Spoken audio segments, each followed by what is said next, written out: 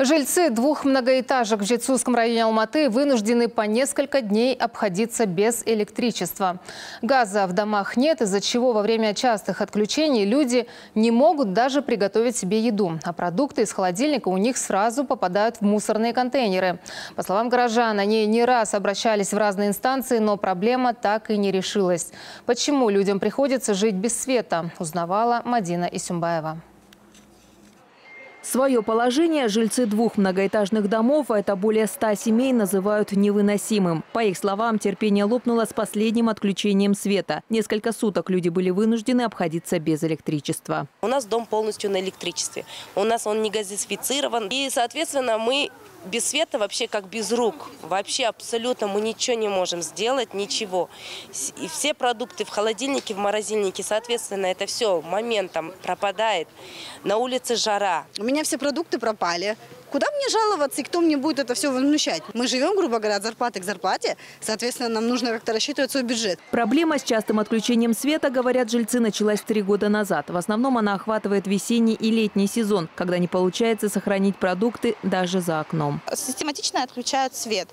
Там на трое суток. Было даже, что в районе там что-то мы 10 дней сидели. Хотя мы ежемесячно оплачиваем ни у кого в квитанции долгов нет. Постоянные аварии на линии. РОЭС-1, который обслуживает нас компания, они всегда говорят, что это не в их компетенции, что это на частной территории.